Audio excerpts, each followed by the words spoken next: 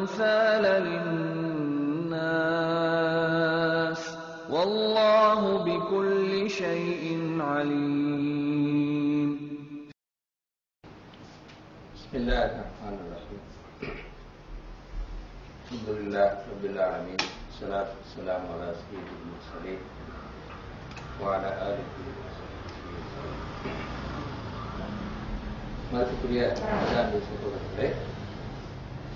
நாங்கள் இன்று ஒரு ஹதீஸுக்கான விளக்கத்தை பார்க்கின்றோம்.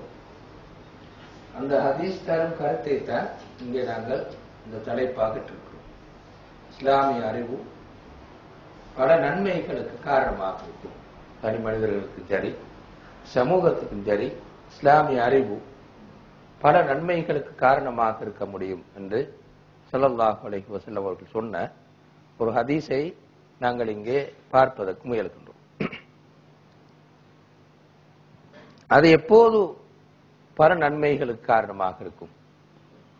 அத்தகைய இஸ்லாமிய அறிவை பெறுவது பெறுபவர்களுடைய பண்பு எவ்வாறாக இருக்க வேண்டும்?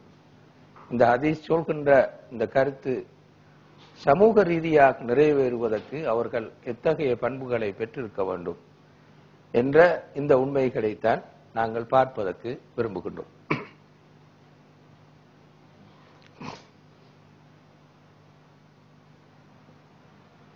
அந்த ஹதீஸ் இதுதான். மாவியா ரதி அல்லாஹு அன்ஹு அவர்கள் அறிவிக்கின்ற ஹதீஸ். கால ரசூலுல்லா மன் யுரிதில்லாஹு பிஹி ஹைரன் யுஃபக்கிஹு ஃபித்தீன். வ இன்னமா நக்காசிமுன் வல்லாஹு யோதி ஒலன் தஜால ஹாதிஹில் உம்மத்து காயிமத்தன் அல அம்ரில்லா லா யதுர்ருஹும் மன் ஹாலஃபஹும் ஹத்தாய அத்திய அம்ருல்லா. என்ற இந்த ஹதீஸைத்தான் நாங்கள் பார்ப்பதற்கு இருக்கின்றோம். இந்த ஹதீஸ் நவீன காலத்தில் வாழ்ந்த ஒரு முஹத்திஸ் செய்துனு அவர்களுடைய தௌஜிஹாத் நபவியா என்ற புத்தகத்திலே வருகிறது. அவர் சொல்கின்றார் இது புகாரியில் சஹீல் புகாரியில் கிதாபுல் இல் என்ற தலைப்பின் கீழ் வருகின்ற ஒரு ஹதீஸ்.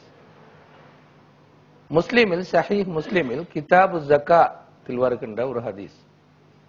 அபுதாவுதுல் கிதாப் அல் ஜிஹாதில் வருகின்ற ஒரு ஹதீஸ். மேலும் திருமிதி நசாயி இபுனு மாஜா மாலிக் முவாத்தா முஸ்னத் அஹமத் போன்ற பல கிரந்தங்களில் வந்த ஹதீஸ்களில் ஒன்றுதான் இது. இந்த ஹதீஸுடைய ராவிகள் வரிசையை எடுத்து பார்க்கின்ற போது ஏறத்தாழ முத்தவாத்தின் தரத்துக்கு அதாவது எந்த விதமாக நான் சந்தேகமும் இல்லாமல் அறிவிக்கப்பட்ட மிகவும் ஆதாரபூர்வமான ஹதீஸின் தரத்துக்கு இது உயர்கிறது என்று செய்து நூ தௌஜிஹாத் நபோவியா என்ற நம்முடைய நூலை சொல்கிறார். இந்த ஹதீஸைத்தான் நாங்கள் இங்கே பார்க்கின்றோம். இந்த ஹதீஸின் பொருள் இது மன் யுரிதுல்லாஹு பிஹி ஹைரன் யுஃபக்கிஹு ஃபித்தீன். அல்லாஹ் யார் மூலம் நல்லதை நாடுகின்றானோ அவருக்கு மார்க்கத்தில் ஆழ்ந்த அறிவை கொடுக்கின்றான். இன்னமான காசிமுன் உல்லாஹு யோத்தி நான் பங்கிடுபவன் மட்டுமே.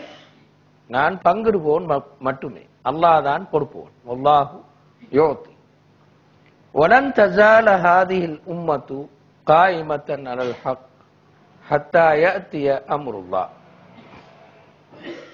அல்லாஹ்வுடைய கட்டளை என்று சொல்கின்ற இறுதி நாள் வரும் வரையில் இந்த மார்க்கத்தின் மீது இந்த சமூகம் கண்டிப்பாக நிலைத்திருக்கும்.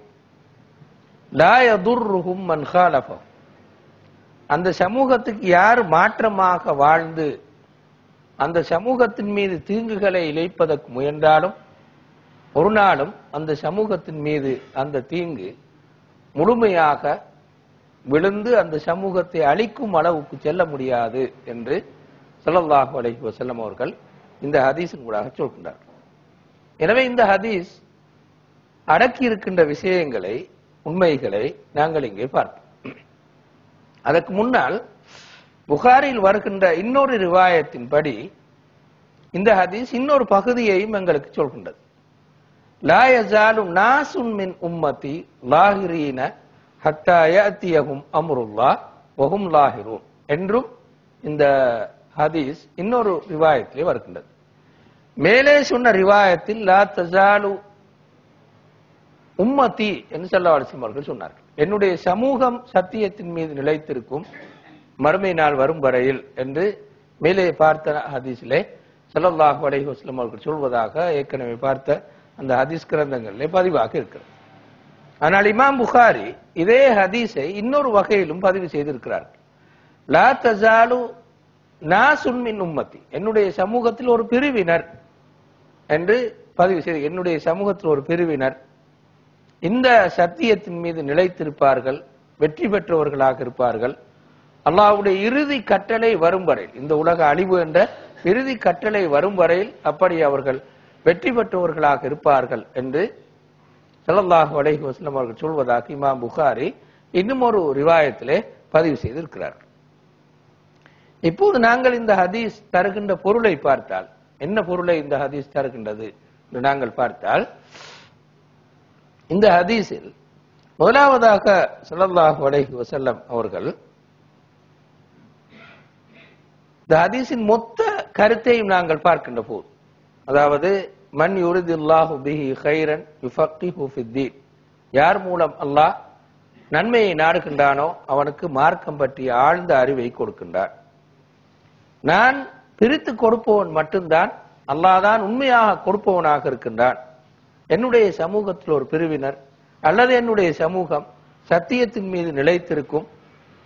அவர்களுக்கு மாற்றமாக யார் வாழ்ந்தாலும் எதிராக யார் இருந்தாலும் அவர்கள் விளைவிக்கும் தீங்கு இந்த சமூகத்தை எதுவும் செய்ய முடியாது என்று சொல்லல்லாஹு அலைஹி வஸல்லம் அவர்கள் சொன்னார் லா யதுர்ருஹும் மன்காலபம் என்று ரசூலுல்லாஹ் ஸல்லல்லாஹு அலைஹி வஸல்லம் அவர்கள் சொன்னார் எனவே இந்த அதிசை மொத்தமாக எடுத்து நாங்கள் நோக்கும் போது ஒரு பக்கத்தால் ஸல்லல்லாஹு அலைஹி அவர்கள் மார்க்க அறிவு கொடுக்கப்படுபவர் மூலம் பெரிய நன்மைகள் விளைவுகின்றன என்று சொன்னார். இன்னொரு பக்கத்தால் இந்த சமூகத்தில் ஒரு பிரிவினரோ அல்லது இந்த சமூகமோ சத்தியத்தின் மீது தொடர்ந்து நிலைத்திருப்பார்கள் என்று சொன்னார்கள் மூன்றாவது சொல்கிறார்கள் இந்த சமூகத்துக்கு எதிராக யார் இருந்தாலும் அவர்களால் இந்த சமூகத்தை அழித்து விடவோ பாரிய தீங்குகளை இந்த சமூகத்தின் மீது விளைவித்து விடவோ முடியாது என்று சொல்லல்லாஹு அலைஹி வஸல்லம் அவர்கள் சொன்னார்கள். எனவே இந்த முழு ஹதீஸில் இருந்தும் நாங்கள் என்ன விளங்கிக் கொள்கின்றோம் என்றால் அல்லாஹு தாலா இஸ்லாத்தை எத்தி வைக்கின்ற பொறுப்பை முஸ்லிம் சமூகத்துக்கு கொடுத்திருக்கின்றான். அந்த பொறுப்பு உண்மையில் அந்த சமூகத்தில் யார் இஸ்லாமிய அறிவை ஆழமாக பெற்று வாழுகின்றாரோ பெறுகின்றாரோ அவர் மூலமாகத்தான் இந்த பொறுப்பு மொத்தமாக கொடுக்கப்படுகின்றது. அல்லது அடுத்த சமூகங்களுக்கு போய் சேர்கின்றது. அதனால் பாரிய நன்மைகள் விளைகின்றன என்று ஸல்லல்லாஹு அலைஹி சொல்கிறார். அதனோடு சொல்கிறார்கள் இந்த எத்தி வைக்கின்ற பொறுப்பு இந்த தூதை சுமக்கின்ற இந்த செயற்பாடு மறுமை நாள் வரும் வரையில் இந்த சமூகத்தில் நிலைத்திருக்கும். அது ஒரு நாளும் அழிந்து போக மாட்டாது. அடுத்த சமூகங்களுக்கு எதிராக வேலை செய்தாலும் கூட அது ஒரு நாளும் இந்த சமூகத்தில் பாரிய பாதிப்பு எதனையும் உருவாக்க மாட்டாது என்று ஸல்லல்லாஹு அலைஹி செல்லம் அவர்கள் சொல்கிறார் அந்த கருத்தை தான் இந்த ஆயத்தும் எங்களுக்கு சொல்கின்றது. அதாவது இஸ்லாத்தை எத்தி வைக்கின்ற பொறுப்பு முஸ்லிம் சமூகத்தின் மீதுதான் இருக்கிறது என்ற கருத்தை இந்த ஆயத்தும் சொல்கிறது. ஒஜாஹிது ஃபில்லாஹி ஹக்க ஜிஹாதி நீங்கள் அல்லாஹ்வுடைய பாதையில் மிகச் சரியான முறையில் ஜிஹாத் செய்யுங்கள் போராடுங்கள். ஹுவ இஜ்தபாக்கும் அவன்தான் உங்களை தெரிவு செய்தான். ஒமா ஜால அலைக்கும் மின் ஹரஜ். மார்க்கத்தில் உங்களுக்கு எந்த விதமான கஷ்டத்தையும் அவன் ஆக்கவில்லை. உமா ஜால அலைக்கும் ஃபித்தீனி மின் ஹரஜ். மார்க்கத்தில் எந்த விதமான கஷ்டத்தையும் அவன் உங்களுக்கு ஆக்கவில்லை. மார்க்கத்தை பின்பற்றுவது இலகுவானது லேசானது எனவே அடுத்த சமூகங்களுக்கு மார்க்கத்தை சொல்வதிலும் தடைகள் பிரச்சனைகள் எதுவும் மார்க்க ரீதியாக வரமாட்டாது. அப்படியான அடுத்த சமூகங்களுக்கு சொல்லக்கூடிய மார்க்கத்தை எத்தி வைக்கக்கூடிய அந்த பொறுப்புக்கு ஏற்ப இந்த மார்க்கத்தை அல்லாஹு தால இலகுபடுத்தி ஆக்கியிருக்கிறான். அவன் உங்களை தெரிவு செய்தான். முஸ்லிம் சமூகமாக்கி உங்களை அவன் இந்த மார்க்கத்தை எத்தி வைப்பதற்காக தெரிவு செய்வான். எனவே ஒமா ஜாலா அலைக்கும் மின் இந்த மார்க்கத்தில் எந்த விதமான கஷ்டத்தையும் அவன் ஏற்படுத்தவில்லை. அடுத்த சமூகத்துக்கு எத்தி வைக்கின்ற அந்த விடயத்தை பொறுத்தவரையில் எந்த விதமான கஷ்டங்களும் துன்பங்களும் அல்லது தடைகளும் மார்க்க ரீதியாக கிடையாது. அல்லாஹ் மார்க்கத்தில் அப்படியான இறுக்கமான கஷ்டமான சட்டங்கள் எதையும் போட்டது கிடையாது என்று அல்லாஹ் இந்த வசனத்தினுடைய சொல்கின்றார் மில்லத்த அபீக்கும் இப்ராஹிம். இப்ராஹிம் அலைஹிஸ்ஸலாம் உங்களுடைய தந்தை இப்ராஹிம் அலைஹிஸ்ஸலாம் அவர்களுடைய மார்க்கமாகத்தான் இது இருக்கின்றது. உவ சம்மாக்குமுல் முஸ்லிமீன அமின் கபுல்.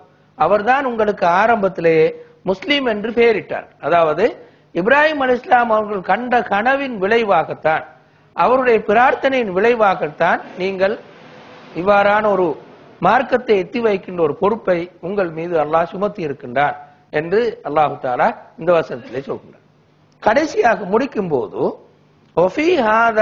லியகூனர் ரசூலு ஷஹீதன் அலைக்கும் ஒஃபி ஹாதா லியகூனர் ரசூலு ஷஹீதன் அலைக்கும் இந்த விடயத்தில் தூதர் உங்களுக்கு சான்றாக இருப்பார். அதாவது மார்க்கத்தை எத்தி வைக்கின்ற இந்த விடயத்தில் தூதர் உங்களுக்கு சான்றாக இருப்பார். நீங்கள் மக்களுக்கு சான்றாக இருப்பீர்கள். இந்த மார்க்கத்தை எத்தி வைப்பது என்றால் பொருள் வாயால் சொல்வது மட்டுமல்ல உங்களுடைய நடத்தை உங்களுடைய சமூக அமைப்பு நீங்கள் வாழுகின்ற அமைப்பு நீங்கள் கருத்து சொல்கின்ற அமைப்பு இவற்றின் மூலமாக நீங்கள் மக்களுக்கு இந்த மார்க்கத்தின் சான்றுகளாக இருப்பீர்கள். அல்லது நீங்கள் இருக்க வேண்டும் என்று அல்லாஹு தாலா தக்கூனு ஷுஹதா அரன்னாஸ் என்று சொன்னார் எனவே நீங்கள் ஃபாகீமு ஸலாத்த வ ஆத்து நீங்கள் தொழுகையை நிலைநாட்டி ஜக்காத்தை கொடுத்து வஅத்தஸிமு பில்லா அல்லாஹ்வுடைய கயிற்றை அல்லது அல்லாவை பற்றி பிடித்துக் கொள்ளுங்கள். ஓ மௌலாக்கும் ஃபனாமல் மௌலா ஒனாமல் நசீர் அவன்தான் உங்களுக்கு பொறுப்புதாரனாக இருக்கின்றான். அந்த பொறுப்புதாரராக இருப்பதில் அவன் மிகச் சிறந்தவன். உதவியாளனாக இருப்பதில் அவன் மிகச் சிறந்தவன் என்று அல்லாஹு தாலா இந்த வசனத்தினூடாக இந்த சூரத்துல் ஹஜ்ஜில் வருகின்ற இந்த வசனத்தினூடாக இந்த தூதை எத்தி வைக்கின்ற பொறுப்பு முஸ்லிம் சமூகத்தின் மீது கொடுக்கப்படுகிறது. அந்த தூதை எத்தி வைப்பதில் எந்த விதமான சிரமங்களையும் கஷ்டங்களையும் அல்லாஹ் மார்க்கத்தினூடாக உங்களுக்கு தரவில்லை. எனவே நீங்கள் இந்த தூதை மக்களுக்கு சான்றாக இருந்து எத்தி வைக்க முடியும் என்று இந்த ஆயத்து எங்களுக்கு சொல்கின்றது. ஏற்கனவே நாங்கள் பார்த்த அந்த ஹதீஸ் சொன்ன அந்த கருத்தை இந்த ஆயத்து எங்களுக்கு சொல்வதனை நாங்கள் காண்போம்.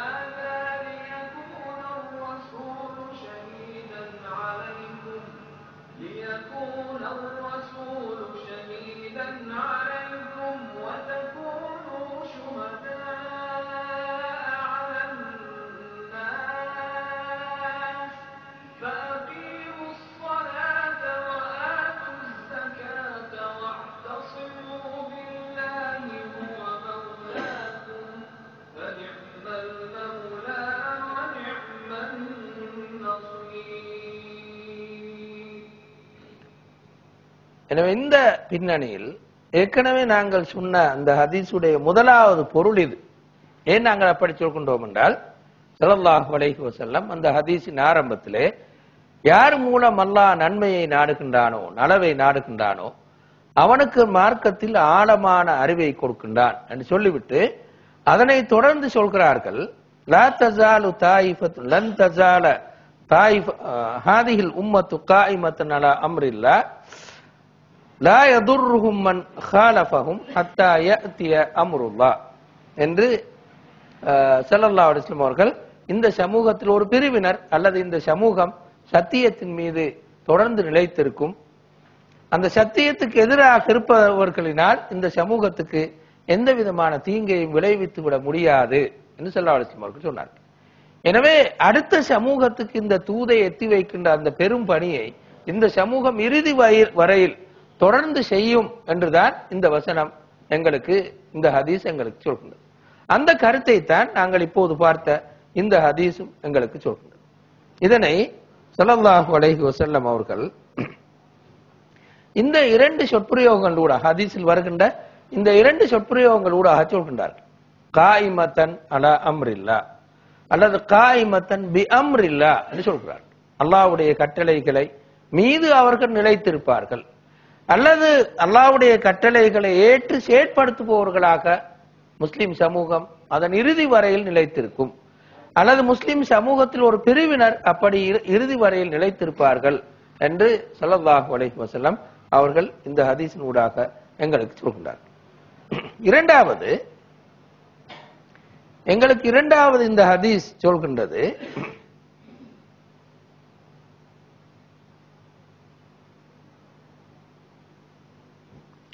இந்த கருத்தை சொல்கிறார். ஏற்கனவே நாங்கள் பார்த்த அந்த ஹதீஸிலே லாஹிரீன அலல் ஹக். சத்தியத்தின் மீது நிலைத்து வெற்றி பெற்றவர்களாக அவர்கள் இருப்பார்கள். அதாவது இந்த சமூகம் கண்டிப்பாக ஏதோ ஒரு வகையில் எல்லா கால பிரிவிலும் வெற்றி பெற்றதாகத்தான் இந்த சமூகம் இருக்கும் என்று சல்லா அலிஸ்லாம் அவர்கள் சொல்கிறார் எத்தனை தடைகள் இந்த சமூகத்துக்கு எதிராக வந்தாலும் பயங்கரமான சூழ்ச்சிகள் வந்தாலும் எத்தனையோ வகையான கவர்ச்சிகள் வந்தாலும் இந்த சமூகம் ஒரு நாளும் அழிந்து போக மாட்டாது தோல்வி அடைந்து விட மாட்டாது என்ற கருத்தை தான் ஸல்லல்லாஹு அலைஹி அவர்கள் இங்கே தருகிறார். இது இஸ்லாமிய வரலாற்றை பார்க்கின்ற எல்லோரும் இலகுவாக புரிந்து கொள்ளக்கூடிய ஒரு உண்மை. தோற்பது போல் தெரிந்தாலும் சில வேளைகளில் முஸ்லிம் சமூகம் தோற்பது போல் தெரிந்தாலும் கூட இறுதியில் வெற்றி பெறுவார்கள். அது நாங்கள் உமையாக்குடைய காலத்தை எடுத்தாலும் அப்பாசியாக்களின் காலத்தை எடுத்தாலும் பின்னால் வந்த காலப்பிரிவு எடுத்தாலும் முஸ்லிம் சமூகம் வீழ்ச்சி அடைந்து விட்டது என்று சொல்லி இந்த இருபதாம் நூற்றாண்டின் ஆரம்ப பகுதிகளில் முஸ்லிம் சமூகம் வீழ்ச்சி அடைந்து விழுந்து விட்டது. இனி எழும்புவது சாத்தியமில்லை என்று நினைத்த போதும் கூட என்று நினைத்து நாங்கள் ஓரளவுக்கு நம்பிக்கை இழக்கின்ற சூழ்நிலை வந்த போதிலும் கூட ஒரு கொஞ்ச நாள் போவதற்குள்ளால் ஒரு அரை நூற்றாண்டு முக்கால் நூற்றாண்டு போவதற்குள்ளால் திரும்பவும் அந்த சமூகம் எழுந்து உலகத்துக்கு வழிகாட்டுகின்ற ஒரு சூழலை நோக்கி வந்து கொண்டிருப்பதனை நாங்கள் அவதானிக்கின்றோம். எனவேதான் ஹதீஸும் தெளிவாக சொல்கின்றது லாஹிரீன அரல்ஹம் இந்த சமூகம் கண்டிப்பாக சத்தியத்தின் மீது நிலைத்து நிற்கும் வெற்றி பெற்றதாக இருக்கும். இந்த சமூகத்தின் ஒரு பிரிவினர் எப்பொழுதுமே தொடர்ந்து போராடி இந்த சமூகத்தை எடுத்து சொல்லிக் கொண்டே இருப்பார்கள் என்று செல்லல்லாஹு அடைகி வஸல்லம் அவர்கள் இங்கே சொல்கின்றார் அப்படி சொல்லும்போது ஸல்லல்லாஹு அலைஹி வசல்லம் அவர்கள் சொன்ன முக்கியமான ஒரு உண்மையைத்தான் நாங்கள் இந்த ஹதீஸிலே அவதானிக்கின்றோம். அது என்னவென்றால் அந்த வெற்றிக்கான சாதனம் அறிவு என்று ரசூருல்லா சொல்கிறார். இந்த ஹதீஸ்ல ஏற்கனவே நான் சொன்ன ஹதீஸை திருப்பி இன்னொரு முறை ஞாபகப்படுத்தி பாருங்கள். ஸல்லல்லாஹு அவர்கள் ஆரம்பிக்கும் போது சொன்னார்கள் மன் யுரிதில்லாஹு பிஹி கைரன் யார் மூலம் அல்லாஹ் நன்மையை நாடுகின்றானோ நனவு நடக்க வேண்டும் என்று நாடுகின்றானோ அவருக்கு மார்க்கத்திலே ஆழமான அறிவை கொடுக்கின்றான் என்று இப்படி சொல்லிவிட்டுத்தான் தொடர்ந்து சொன்னார்கள் இந்த சமூகம். லன் தசால தாயிஃபத்துன் மின் உம்மத்தி அல்லது லன் தசால ஹாதியில் உம்மத்து காயிமத்தன் மத்தன் ஹக் அல்லது லாகிரீன அலல் சத்தியத்தின் மீது நிலைத்து நிற்பார்கள். அல்லது வெற்றி பெற்றவர்களாக இருப்பார்கள் என்று செல்லா அவர்கள் சொன்னார்கள். ஆரம்பத்தில் இந்த கருத்தை சொல்லிவிட்டு யார் மூலம் அல்லாஹ் நன்மையை நாடுகிறானோ நனவை நாடுகின்றானோ அவர்களுக்கு மார்க்கத்திலே ஆழ்ந்த அறிவை கொடுக்கின்றான். என்று சொல்லிவிட்டு தான் முஸ்லிம் சமூகம் வெற்றி பெற்றதாக இருக்கும் என்ற கருத்தை பின்னால் சல்லா அவர்கள் சொல்கின்றார். முடிக்கும் போதும் ரசூலுல்லா எவ்வாறு சொல்கின்றார்கள் என்றால் யார் அவர்களுக்கு எதிராக இருந்தாலும் அதனால் எந்த பாதிப்பும் அவர்களுக்கு வரமாட்டாது என்று சல்லா அவர்கள் சொல்கின்றார் எனவே இங்கு முஸ்லிம் சமூகத்தின் வெற்றிக்கான அடிப்படை காரணம் என்னது? வேறு பல கிளை காரணங்கள் இருக்க முடியும். ஆயுதம் இருக்க முடியும் பௌதீக சக்திகள் இருக்க முடியும் பணம் இருக்க முடியும் வேறு வேறு பல்வேறு காரணங்கள் கிளை காரணங்களாக இருக்க முடியும். ஆனால் அடிப்படையான காரணம் என்னவென்றால் அறிவுதான் வெற்றிக்கான அடிப்படை சாதனம் என்று ஸல்லல்லாஹு அலைஹி வசல்லம் அவர்கள் இங்கே சொல்கிறார் முஸ்லிம் சமூகமே சில வேலைகளில் ராணுவ படையெடுப்பின் காரணமாக தோத்து போகும். வீழ்ச்சி அடை. ஆனால் அறிவினால் வெற்றி பெறும். நிறைய உதாரணங்கள் அதுக்கு இருக்கிறது. உதாரணத்துக்கு சொல்லுங்கள். மங்கோலியர்கள் படையெடுத்து வந்து முழு முஸ்லிம் சமூகத்தை மேரத்தால் அழித்தார் ஆப்கானிஸ்தானிலிருந்து தொடங்கி அழித்துக் கொண்டே வந்து பக்தாதுக்கு வந்து பக்தாதுடைய ஹலீஃபாவை கொன்று அங்கிருந்த எல்லா லைப்ரரியை மெரிச்சு அதில் இருக்கிற புத்தகங்களை வீசி இப்படி அநியாய அட்டூழியங்களை செய்தார்கள். ஆனால் அவர்களே பிறகு இஸ்லாத்தை தழுவினார்கள். வரலாறு சொல்கிறது அவர்களை திரும்ப பின்னர் இஸ்லாத்தை தழுவினார்கள் இப்படி இஸ்லாமிய வரலாற்றில் நிறைய இடங்களில் நாங்கள் உதாரணத்தை காண முடியும். அறிவினால் முஸ்லீம்கள் வெற்றி பெற்றார்கள் அந்த அறிவு படைத்தவர்கள் ஒரு சிலர் இருந்த இருந்து கொண்டு கொஞ்சம் பேர் இருந்து கொண்டு ரெண்டு மூன்று பேர் இருந்து கொண்டு இந்த சமூகத்தை வெற்றி பெறச் செய்தார்கள் என்று நாங்கள் இஸ்லாமிய வரலாற்றை பார்க்கிறோம். எனவேதான் சலாஹுத்தீன் அயூபி அவர்கள்